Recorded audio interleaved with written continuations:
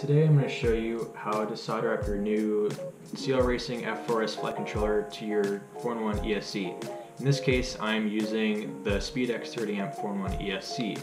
If you have any other ESC it should be the same process. Alright here it is. I only have the flight controller and ESC soldered together right now just so it's a little bit easier to see that way there's no extra wires dangling in front of the camera. When you get the Spedix ESC, the 30 amp 4 in 1, there's already a XT60 cable soldered onto it. You actually want to take that off to do this so you can actually get current sensing. And the way to get current sensing is to have your XT60 cable go into your CL Racing F4S flight controller, which the pads are right on the bottom, super easy to get to. And then to power your ESC, you take two wires, one on the ESC positive and one on the ESC negative pad on the flight controller.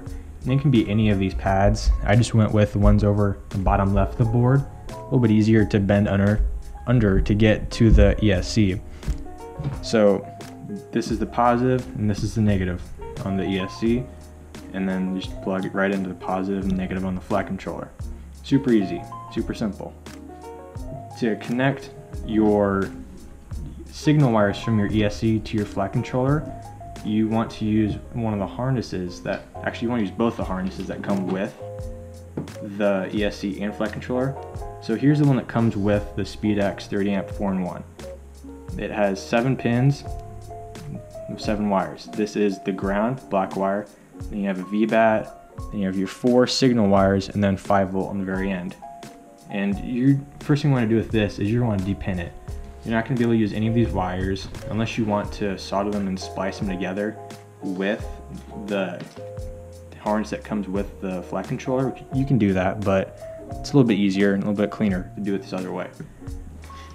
So what I did was I took a razor blade and popped all these wires out of the ESC pin and then I plugged in these nice silicone wires from the harness that comes with the flight controller into the pin and use a tad bit of super glue on each of them to hold them in place. And the final product of this is this. On one end you have the CL Racing connector and the other you have the ESC connector. So to connect this, it's super simple.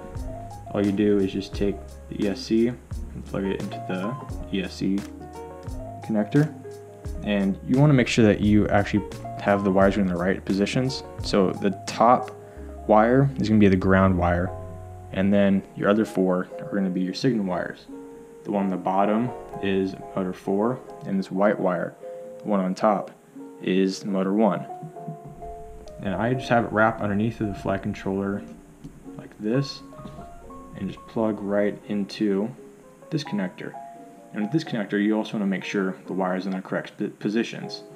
Starting from the bottom of the board, down here, the connector, this white wire is motor 1, and this green wire is motor 4. And if you don't, if you use different colored wires, you can see right here on the board, it's really hard to see actually, there's numbers 1, 2, 3, and 4. Those are your motors. And that's really all you need to do. It's super simple, super clean. I used 20 gauge wire for my ESC pads from the flat controller down to the ESC. Then I used 16 gauge wire for my XT60 cable. And the reason I did it all like this was that I, I want current sensing when I race and when I fly. And you don't get current sensing, you power your ESC first and then go to your flight controller.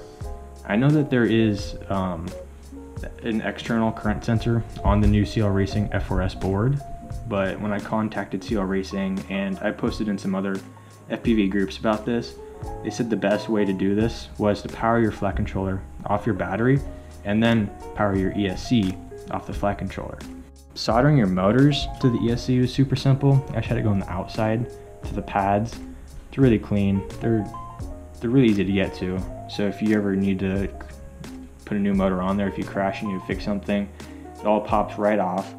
And these pins on the harnesses, unplug it, and then you can fold the flat controller back to get underneath of it for anything, which you shouldn't need to because there's nothing on here other than a buzzer. And then if you need to get work on the ESC, it's super easy to get to. A few things I wanted to mention is for the harness, you don't need this yellow wire. This is the sensor wire. Uh, I don't actually know what it's used for. When I contacted some other people in CL Racing, they said I don't need it for this build. So you don't you don't need to use it for anything. Take it out, save it for your camera, VTX, whatever you want it for.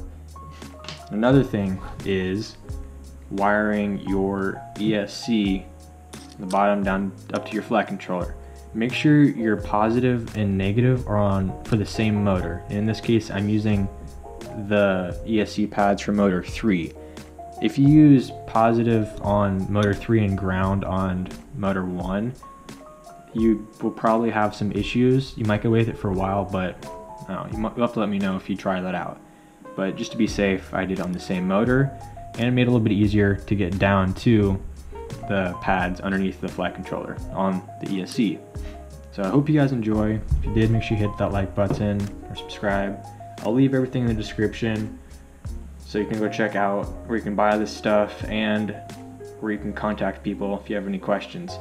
If you have anything to say about this, leave a comment. I'd like to see what you have to say if you think I need to do anything different or if you did it a different way.